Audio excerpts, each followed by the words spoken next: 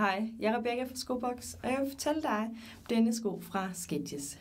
Her har vi fat i en super smart sneakers, lavet helt i hvid og lavet med snøre, som både er hvide, men der følger også en grå med, hvis man lige vil have lidt kontrast.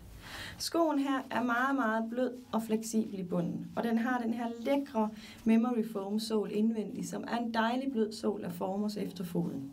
Så skøn, skøn at have på. Skoen vejer næsten heller ingenting. Har du lyst til at vide mere om skoen, så spørg mig eller kig forbi.